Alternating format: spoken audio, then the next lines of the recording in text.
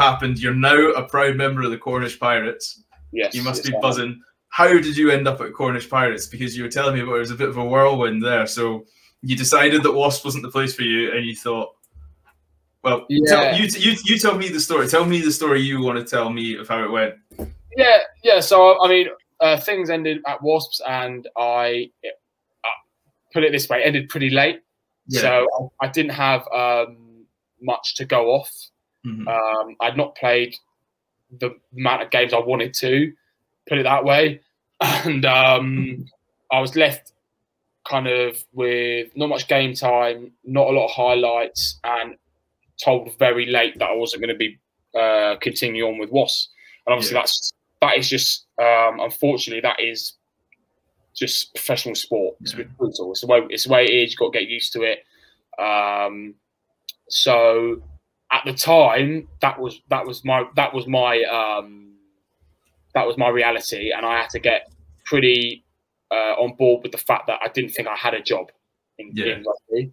So obviously, um, I've said already that I'm doing law school online part time. Well, you know, before at the end of the season, I thought I was going to be doing that full time at Mhm. uh, law school in Waterloo, and I'd have to look for a part time job on the side and possibly try and play some rugby uh, part time and try and keep the dream alive. But you kind of think to yourself that because of the intensity of law school, and that it was going to be a kind of a crash course to get through my PGDL, my postgraduate diploma in law. yeah. I wouldn't have time to play rugby and have a job on the side that pays me, so I can actually, you know, maybe find a little flat or house share or whatever. So, Mhm. you know, the dream was the rugby was, you know, it was looking kind of, you know, it was squeaky On the back burner. On the back burner. yeah. Yeah. massively. So, uh, you know, on the back burner, or I was having, you know, I was having real genuine thoughts that maybe, maybe this isn't for me. Maybe just, maybe rugby's just not going to pan out. And unfortunately, I'm going to be that guy in the pub that said, um, you know, I would have been that if it this, if it wasn't for this and wasn't for that. But I was determined that wasn't going to be the case. So, Mhm. um, I got a message from obviously Matt Jess, who's uh, obviously a friend of ours and uh, One, one of the greatest people we've ever met. I think it's safe Exactly, to say. yeah.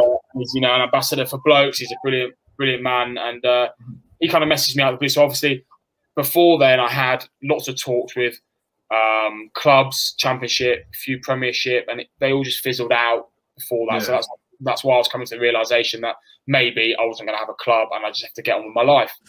Um, and luckily for me, I had a, I have a degree, so I was going Mhm. into law. So luckily, I had something to fall back on.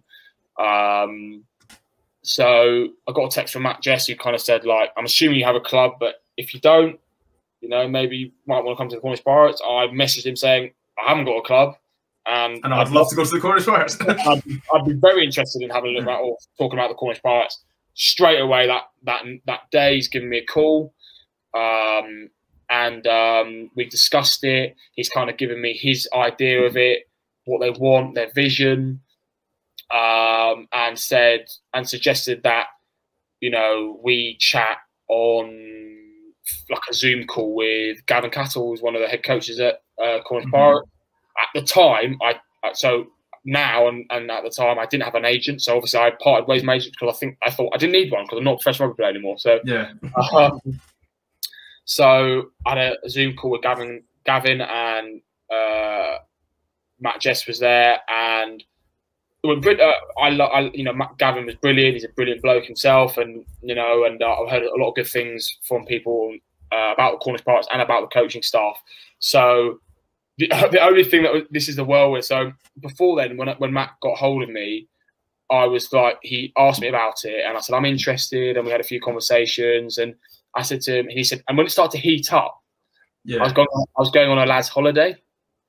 So I had to, Where, where are we talking? Are we talking like proper Ibiza Ocean no, no, no, no. So this was this was when the COVID was like in I think it was July or something. So it was it was Alright. like June, June. So I was like Brighton. We went to Brighton, and, like four nights. Brighton's quite hip and trendy from what I see. I mean, I'm I'm rural Scotland, so I know it was brilliant. No, hip and trendy. It was really cool, vibrant, and uh, busy, and you know, uh, allowed us to go to like with nightclubs, but the nightclubs were like tables, so it was all nightclub music and dark and brilliant. I'm not giving out my night my nights out there, but um, so I kind of messaged him and said like, by the way, Matt, I'm on a lads' holiday. Like, I'm going to be on a lads' holiday for like four days, four nights. Uh, like, I probably won't text you at midnight on, on my nights out, Stephen, and be like, yes, I was, you know what I mean? So, um, you know, and we actually did speak while I was out on my lads' holiday, and I didn't tell the boys anything. So, like, Yeah.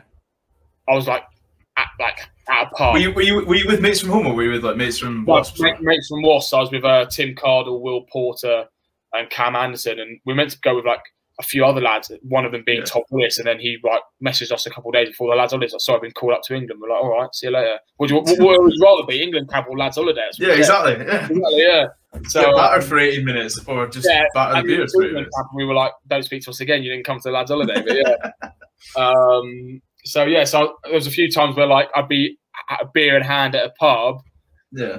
I'd get a call from Matt Jess or like a message from Matt Jess. I'd be like out on the phone or like, you know, speaking and the lads like, what's he getting on his phone for? Like, so um, they They knew something. thought, yeah. They They probably thought you were phoning the missus or something. Yeah, exactly. So I got home exactly. So I got home from the lads' holiday, Mhm. and uh, that's when I had my Zoom call with Gavin and, and Matt, and. Mhm. I kind of said, you know, because I was I, I initially kind of one of the things in the negotiations, I didn't have an agent at the time. Uh, I said, I, I, I haven't got, I can't find a one like a one bed one bed flat in Penzance because Yeah. everything it's summer, Cornwall, beautiful.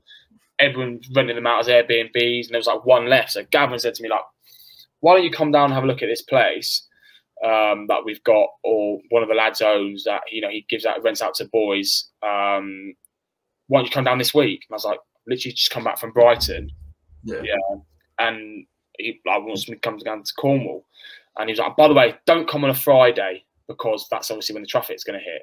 Yeah. And it was like Wednesday. So I was like, uh, so I just literally was like, okay, yeah, I'll, I'll come in. So I went, that, it was a Tuesday. So like, I said to my dad, like, my old man who wanted to come with, I said, we need to go down to Cornwall this week and before Friday. so we were like, well, we leave tomorrow then. So we got got in the car, drove down. We're met by um, met by Gav and shown around the house. It's beautiful, a great view, which I showed you earlier. Oh, Uh, mate, it's, you'll have to post a picture on the gram that people can see when it comes out because it's, Yeah. it's blissful. Right. Yeah, it's pretty cool. So, um, kind of was you know kept my poker face because obviously I didn't have an agent at the time, so I was trying to be like, um, Cam Compo has done this a million times before. yeah, yeah, exactly, yeah. So, and then we got shown around the Mennaye Field, which is obviously a famous Cornish Pirates famous uh, yeah, yeah. Loved it and kind of uh, over a coffee came to an agreement on on a contract which you have to do at this level. Um, and yeah, and then on by I was there on the Wednesday, I remember, and then Thursday I signed, and I remember on the Wednesday, you know, I said, I he said like obviously you're entitled to your your Rugby Players Association five weeks off, so what you've got like three weeks left. And I Mm. said, no, no, I want to be there for day one of pre-season. I want to meet the boys. I want to graft with the boys. Yeah, Um, I thought that was the right thing to do, and I still think it was. But he said, no, absolutely. well, he said it was this was Wednesday, and he said, "Oh, brilliant! Training starts on Monday." Bollocks. Oh you're, still God! you're still nursing a three day hangover from the Yeah, last I, was. I, was, I was- I was pretty 18 days on the piss. So I was like, "Oh God, yeah, yeah, that sounds fine. That sounds fine." So got back on. So on the Thursday, I'd signed. Yeah. Go back on the Thursday, Mhm. and then left. Came back up on the Sunday with all my belongings and moved in. And then I was training on Monday. You're a pirate. I'm a pirate, yeah. So it's pretty, pretty like a whirlwind kind of week. Sounds like- straightforward when you put it like that. Speak Yeah, to somebody well, on Monday, signed by Friday.